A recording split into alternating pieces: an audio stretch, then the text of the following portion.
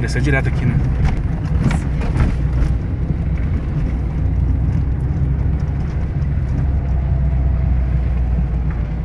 Lá pra baixo também tem, tá vendo?